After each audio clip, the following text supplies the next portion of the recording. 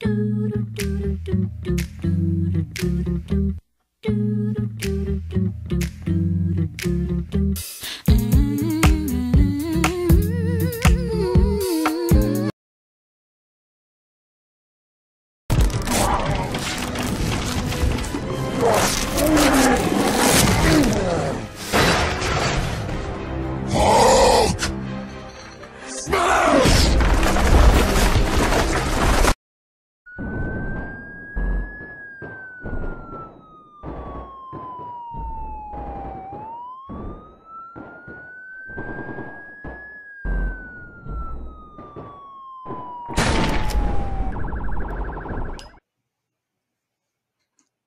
What do y'all think about generational wealth? You hear about you hear about generational wealth, right? That's a good thing, right? We we need to put ourselves in a position to create generational wealth. Deacons in the church Will you say amen? That we need, we need generational wealth.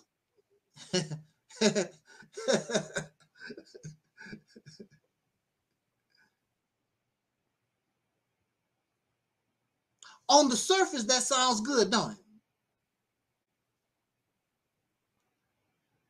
Dr. Boyce Watkins, that's one of his talking points is you, you know people we have to we have to get out here and create generational uh, wealth.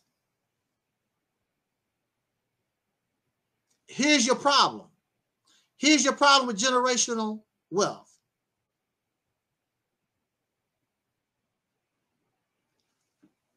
Generational wealth is unnatural it is an unnatural behavior. There's no animal, there's no fish, there's no reptile, there's no worms. Show me in nature where you have generational wealth. Any animal, any life. Each generation must fend for itself. There's no squirrels in a tree hoarding all these nuts. I'm saving these nuts for my future generation so they don't have to go out and hunt for the nuts like I do, you know, generational wealth. It's unnatural. Generational wealth is a form of hoarding.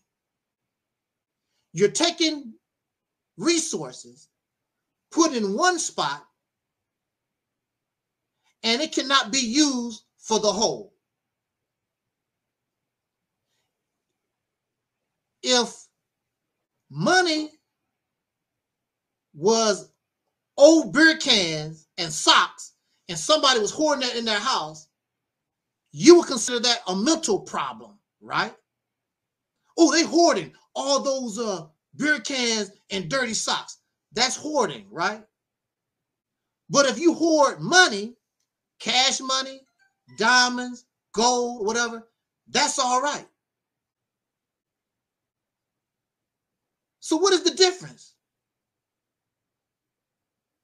Hoarding is hoarding. How come money gets a pass, generational wealth, but socks and beer cans you look down upon? That's trash, that's garbage. It's both hoarding. You're denying others the ability and the right to try to use that money. The children of generational wealth, what do they do for society? The deacon already, the deacon, the deacon uh, in the chat room already made a comment on it, which is true. What do rich people what do people with generations, the children, what do they add and bring to society? They bring a sense of entitlement. I'm superior. I'm better. Laziness. They bring nothing to society.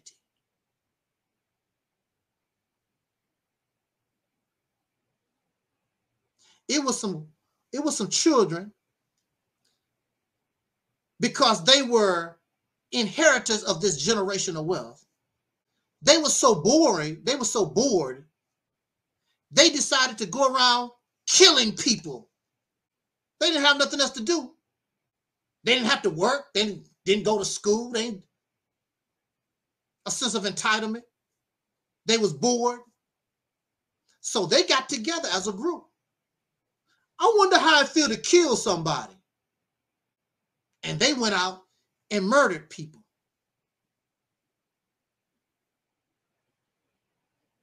They have no purpose, no desire. A life of leisure.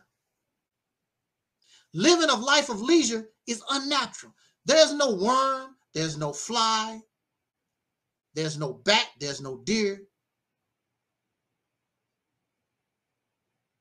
Nobody lives a life of leisure. Life is about work. You're going to get enough leisure when you die. When you die, plenty of leisure. You don't have to worry about it no more. And in order and in order for you, for those to express their generational wealth, somebody is going to have to be a slave. Somebody is going to have to be the one to do the actual work. Because those those who are the inheritors of generational wealth, they don't plan to do it.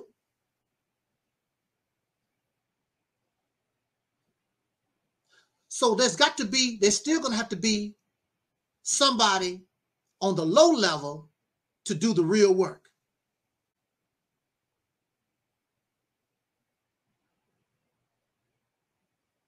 Life is about work. Work, work, work. In nature, it's about work, work, work. When you look at the animals, even in your backyard, constant movement, looking for food, doing something, digging a hole, constant work, work, work.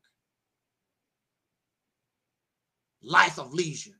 The only one who wants a life of leisure are those who are in a slave system. How are you going to be leisure when there's work to do? Who's going to cook the food? Who's going to make the shoes? Who's going to clean the tub?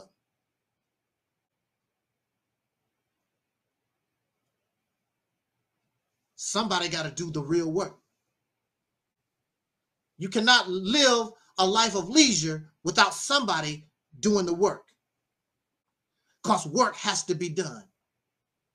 Somebody has to grow the food. Somebody got to feed the chickens, milk the cows, drive the trucks. Who's going to do all this?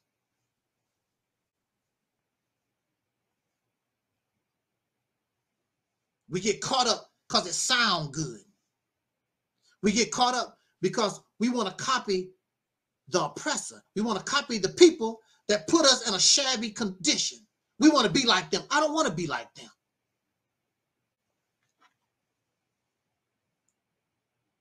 You won't change, but don't want to change.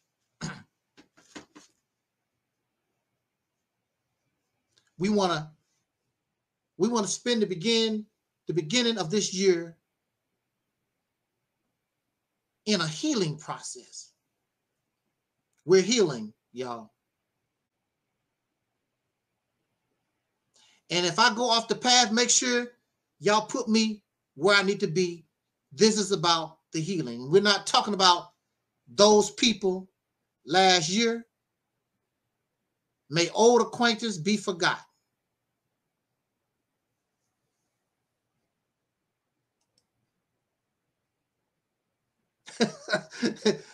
Just actor said talk about squirrel. He, he said they be hiding the nuts in their mouth. That's temporary. That's just so they can carry it, put it away for the winter. That's how you know. That's how uh, squirrels do. They uh they take the nuts and hide them because that's what they the nuts or whatever else, and uh, that's how they survive the winter. But they don't they don't hoard things and bees and ants. They don't hoard things. They put things away for bad times. That's there's a difference between hoarding and trying to prepare yourself for the winter or for a drought or some some bad time.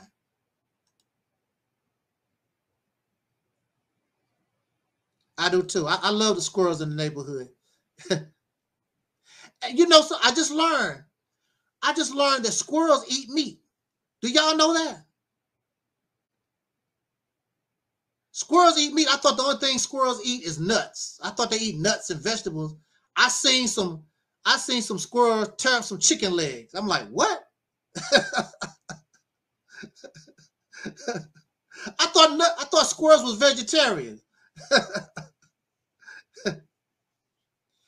I saw some squirrels and these big old black blackbirds. They was fighting over some some chicken, some chicken legs and stuff. I'm like, wow.